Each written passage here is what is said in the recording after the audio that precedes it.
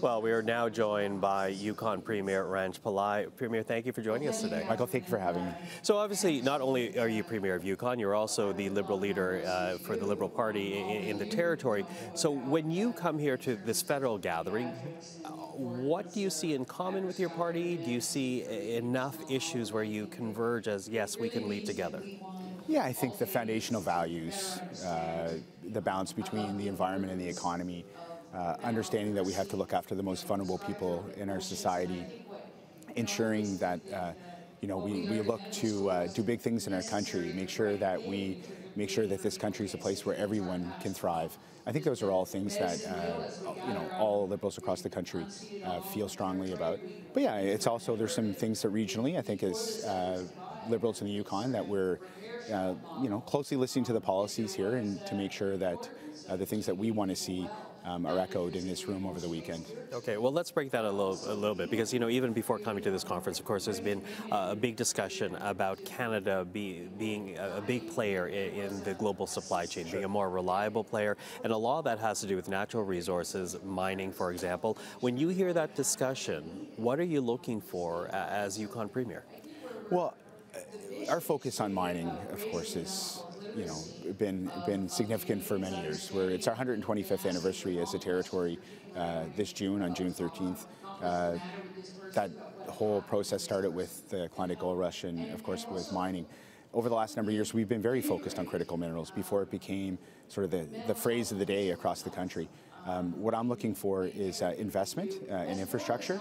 Um, this country needs to have uh, a vision for big ideas. We need grid connection uh, across, so we need electrical grid connection to the north. We need to ensure that our uh, highways and airports are invested in. Uh, so we need all of those surrounding uh, pieces of infrastructure to ensure the projects can go forward. And we have to make sure that we have the regulatory uh, um, policy in place that gives you the ability to build these projects. It's one thing to say we need them, it's one thing to say we have all the critical minerals, but inevitably you have to be able to take private uh, investment and, and put it to work. And that means you have to have a regulatory regime that can get you there. Still have to protect the economy, but you got to build the, be able to build these projects. Well, you mentioned the economy, and, when I think about uh, the economy in Yukon, uh, it does in many ways begin from a position of strength, though, because Yukon continues to, to, to do very well right now. Yeah, we've had um, um, a great tailwinds even coming out of COVID. We had uh, positive growth during 2020 and 2021 lowest unemployment rate in the country. Again, this month, the numbers just came out uh, yesterday.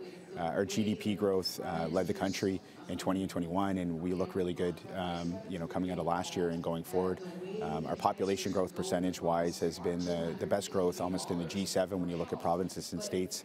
So lots of good things happening, uh, and you know we want to continue to see that happen. And critical minerals and mining is our biggest con contributor the, from the private sector into our economy, and uh, we want to see uh, Canada seize the opportunity. I mean, we are in a great position.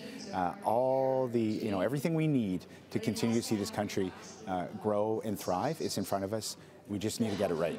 Okay, so so critical minerals being one, natural resources, uh, of course, and as you say, investment from the government. But that's not all you're looking for here, too, because you know, as, as much as we talk about the the economic picture, which is positive in Yukon, territory still has challenges right now as well. Absolutely has challenges. Yeah, I mean the, the conversation going on behind us right now on mental health is important for the Yukon. It's important for the entire country.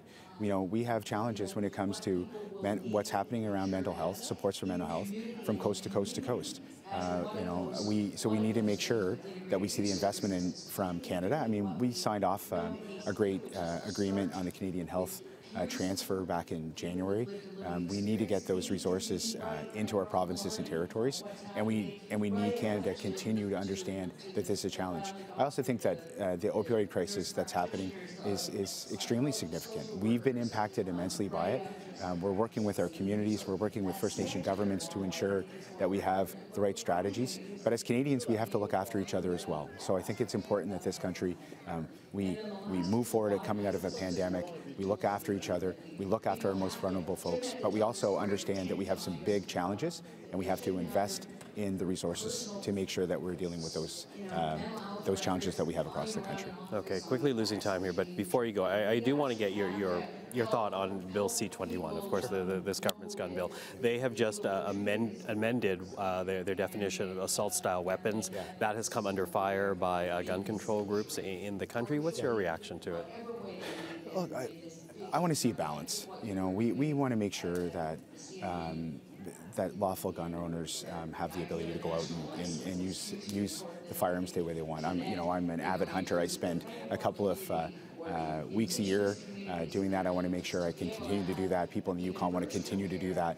Uh, we have to make sure that our streets are safe. We know that. We have to make sure um, that that there's a, that there's a balance in the legislation. So you know, Marco Mendicino came to the Yukon. He he listened uh, to. Uh, many different groups. I think there were some good changes made. Now we're looking at the new iteration of this. But again, that's the thing. I think it's important to understand that there's liberal values, but it's important to understand that there's regional priorities and perspectives, and that's what we need to make sure that the Liberal Party of Canada is aware of um, and, and that they're listening. Premier, really appreciate the time today. Thank you for that. Great to be here.